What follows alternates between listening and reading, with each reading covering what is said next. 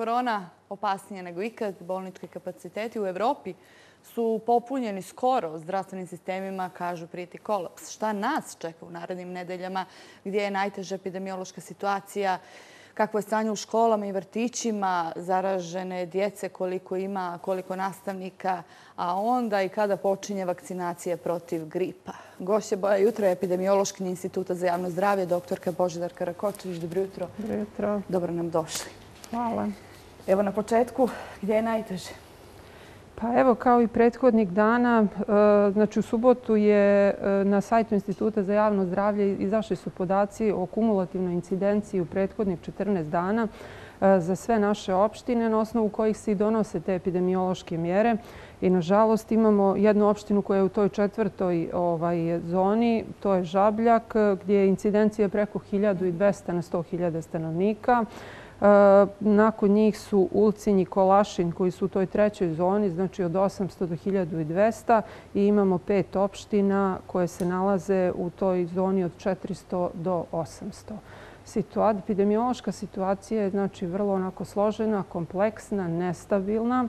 Mi registrujemo ovaj određeni pad novo oboljelih osoba, registrujemo pad, eh, odnosno porast prijavljenih oporavljenih osoba što je dobro, ali još uvijek mi ne možemo ništa sa sigurnošću govoriti. Znači, to je jedan kratak period, tako da moramo sagledati epidemiološku situaciju u malo dužem vremenskom roku da bi mogli govoriti o nekim naznakama poboljšanja epidemiološke situacije, ali u svakom slučaju, znači, nikako nije period za opuštanje, jer kao što ste rekli, u čitavom regionu, evo vidimo i u Evropi, znači, imamo nagle skokove broja oboljelih, čak i u zemljama koje su se dosta uspješno borile sa koronom tokom čitavog ovog ljeta. Pomenuću primjer Slovenije, ovaj, pomenut primjer Hrvatske. U Sloveniji već od, čini mi se, od četvrtka na snazi i policijski sat i zatvorene su mislim, sve radnje osim prehrambenih radnji. Ne rade škole, ne rade vrtići. Ovaj, bukvalno ono jedno zatvaranje, taj takozvani lockdown. E, kod njih e, i u nekim drugim zemljama e, naglo se pune bolnički kapaciteti, ovaj, što je veoma ovaj, upozoravajući znak za čitav zdravstveni sistem i za zemlju. Tako da jednostavno i nas je strah tog nekog narednog perioda kako će se situacija dešavati. Tako da apelujemo na građane znači da se ne opuštamo, već da primjenjujemo te preventivne mjere. Evo, vi ste rekli, rekli smo na početku kakva je situacija u regiona, u svijetu uopšte. Šta možete li da nam kažete i može li se reći šta nas čeka u narednim nedeljama? Pa, vrlo je neizvjesno to reći. Ako se budemo pridržavali mjera, mi to možemo kontrolisati ako se ne budemo pridržavali mjera, znači ne možemo. E, postali smo više dosadni. Čini mi se i mi i svi zdravstveni radnici u čitavom svijetu koji evo čitave godine apeluju na noš... Da, ali evo pokušavamo da, da podignemo pozornost. Razumijemo da ova situacija predugo traje. Zdravstveni sistem to odlično zna, pogotovo epidemiolozi koji su u ovoj priči sa koronom još od januara mjeseca. Evo računajte sad će novembar, znači deset punih mjeseci. Znači, stalno smo u koroni. Ovaj, e, pokušavamo da, da, da objasnimo da je jako značajno da, se nose maske, da poštujemo distancu, da održavamo higijenu ruku, pogotovo sad u ovom zimskom periodu kada nam slijedi regularno znači, pojava akutnih respiratornih infekcija. To se sezonski svake godine javlja, znači ništa novo, ali sad imamo još taj dodatan dodatno opterećenje korone znači u čitavoj toj priči. Tako da je jako bitno da poštujemo te preventivne mjere. Kad ste pomenuli e, te respiratorne infekcije koje će sad da, da krenu, prosto neće biti sve korone. Vrlo teško će biti jeli, i, i razaznati šta je, šta je u pitanju, osim ako se ne testiramo. E, ta vakcinacija protiv gripa najavljeno je bilo da će krenuti ove nedelje. Znate li kad tačno? E, tokom ove nedelje će krenuti. Tačan dan ne znam, ali bit će to ovaj, preko obaveštenja će biti preko medija. E, mi posjećamo da je jako bitno da se vakcinišu osobe sa hroničnim oboljenjima starijih od šest mjeseci, sa hroničnim oboljenjima kardiovaskularnog mhm. sistema, respiratornog sistema, asmatičari, zatim osobe sa metaboličkim poremećajima, osobe starije od 65 godina, osobe koje su u kolektivnom smještaju i posebno naglašavamo značaj vakcinacije zdravstvenih radnika. Koliko je stiglo, odnosno koliko očekujete vakcine? 31.000 doza je naručena ove godine, znači više u odnosu na prethodnu godinu. Mi smo prošle godine imali dosta uspješnu vakcinaciju i potrošeno je bukvalno skoro sve.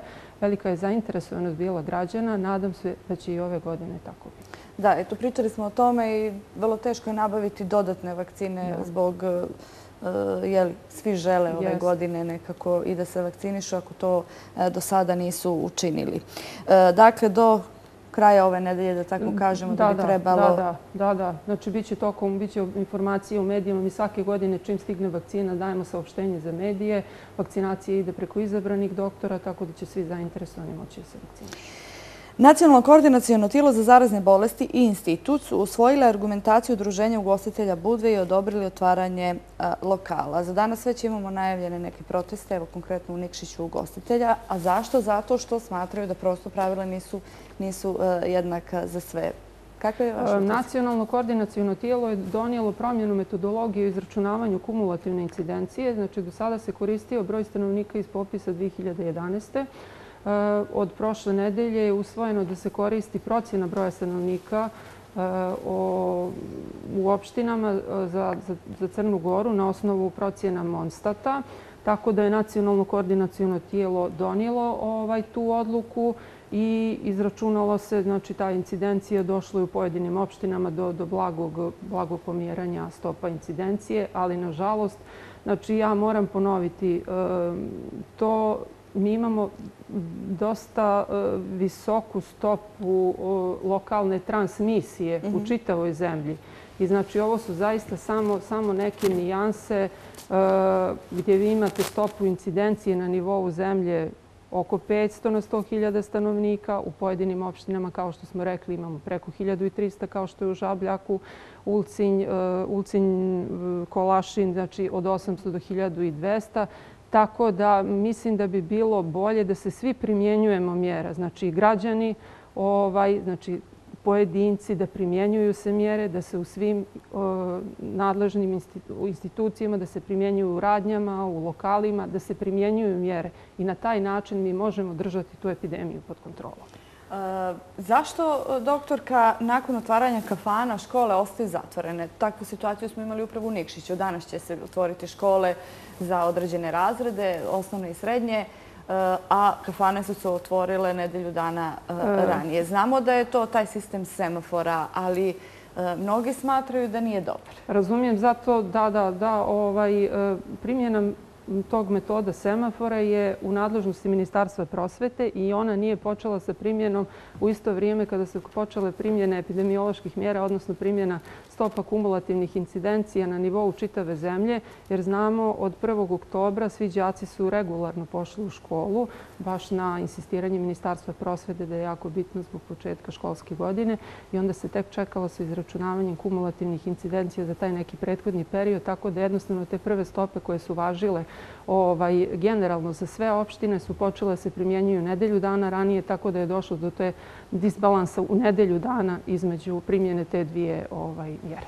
Zašto ovo kažem? Stiče se utisak, mada i roditelji to svi kažu, evo ja kao roditelj kažem da se nekako najviše u školama poštuju te mjere. Slažem se u manji broj, distanca, nose maske. I profesor Mugoša je kazao da u zemlji trenutno to je prije ne znam koliko dana kazao, nema previše inficirane djece i prosjednih radnika u školama i da to e, nije bio razlog da se škole zatvore. Imate li vi neke podatke? Kako je stanje? Mi očekujemo podatke od Ministarstva prosvete zato što je u njihovoj nadležnosti da prikupljaju te podatke i oni bi trebali svake nedelje da nam dostavljaju te podatke o broju ovaj, odsutne djece zbog korone. Tako da nadam se u nekim narednim emisijama da ćemo izaći sa nekim ovaj, konkretnim podacima. Isto tako i za vrtiće, tako? Za vrtiće također. Znači sve je to u domenu Ministarstva prosvete. U kojem slučaju bi vi dali preporuku za e, zatvaranje vrtića? E, pa mi ne možemo da dajemo preporuku za zatvaranje vrtića. To je ostavljeno znači, Ministarstvu prosvete. Vrtići nisu obavezni. U vrtićima djeca ne nose maske. E, naša sugestija je bila da ovaj, prilikom u opštinama gdje je povećanje incidencije preko 200 na 100.000 stanovnika, e, obraz, vaspitno-obrazovne ustanove informišu e, roditelje o mogućnosti povećenom, odnosno povećenom riziku od prenosa infekcije u vrtićima, tako da je jednostavno ostavljeno roditelje roditeljima da donesu odluku ovaj, e, da, li, da li uopšte da šalju djecu u vrtiće.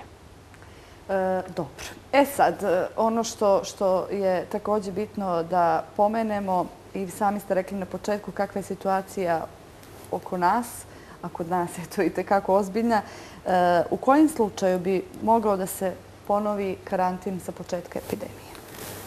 Pa ukoliko dođe do velikog opterećenja zdravstvenog, e, odnosno popunjenosti e, bolnica. Nažalost, mi već imamo veliki pritisak na zdravstveni sistem. Znači imamo veliki pritisak na COVID ambulante, imamo veliki pritisak na bolnice, ali još uvijek nije došlo do prepunjenosti bolnica.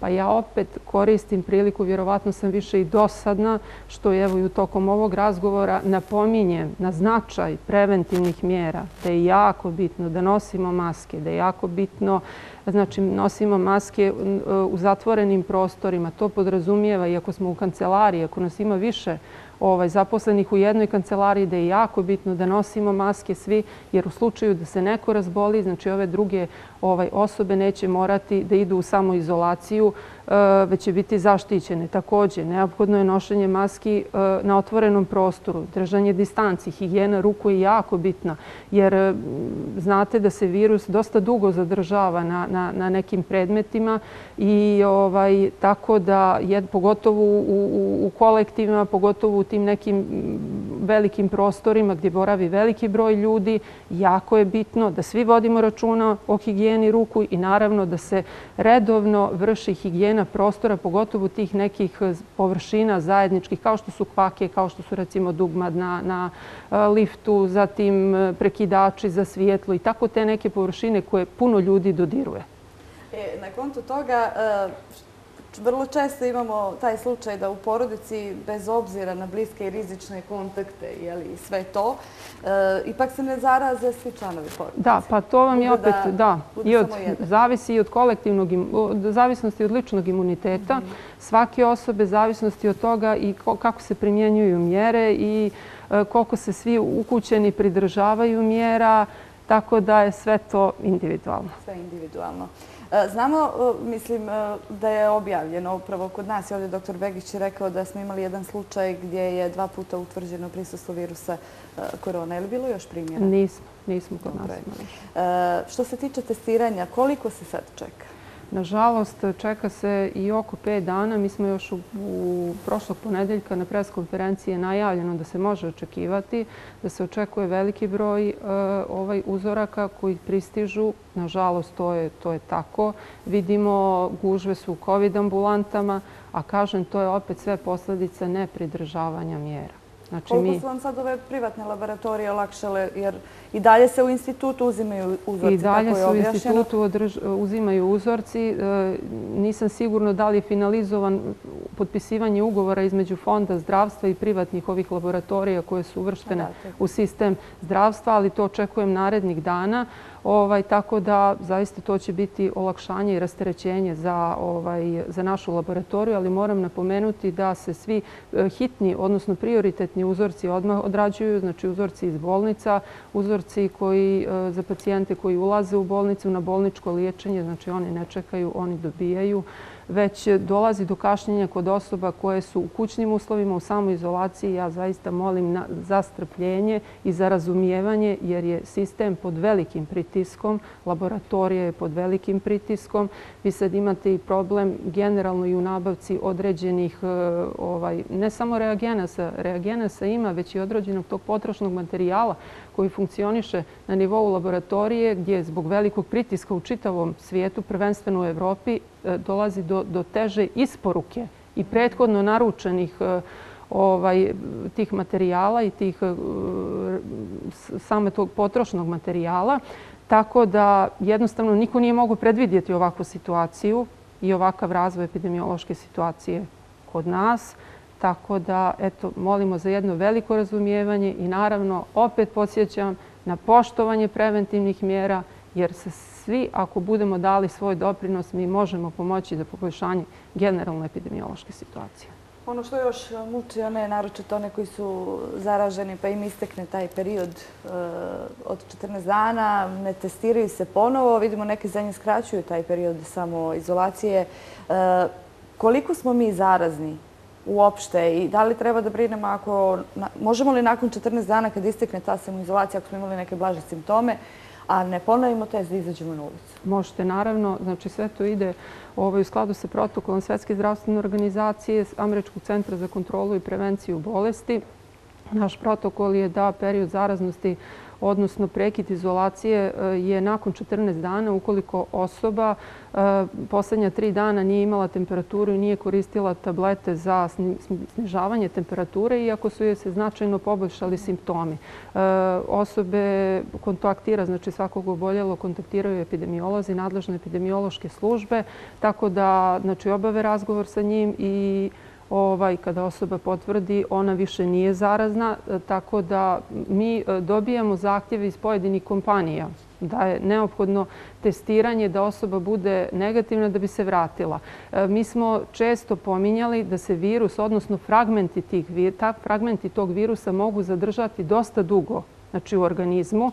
Tad osoba nije zarazna, ali jednostavno PCR koji je jako osjetljiva metoda detektuje te ovaj, dijelove ovaj virusa, tako da nema potrebe za kontrolnim testiranjem neć jednostavno osoba nakon 14 dana, ukoliko 3 dana nema temperaturu i poboljšali su se simptomi, ona više nije zarazna za okolinu. E, nisam pomenula kad smo rekli, rekli ste oko 5 dana se e, čeka na testiranje. Dakle, od danas ove rezultate koje budemo imali, to su uzorci uzeti od prije 5 dana.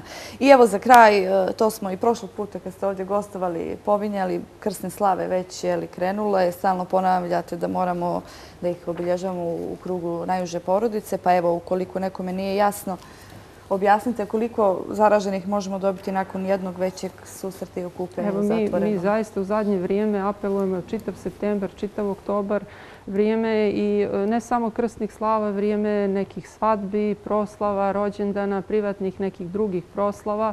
Apelujemo na građane da ne organizuju svojim porodicama ovaj, takva vrsta okupljanja, pogotovo u tim nekim velikim skupovima, da čujemo da imamo i više stotina ljudi, jer zaista to je nevjerovatno. Znači, meni kao epidemiologu je to skroz nevjerovatno. Znate na kojim gradovima ste čuli da se to dešavalo?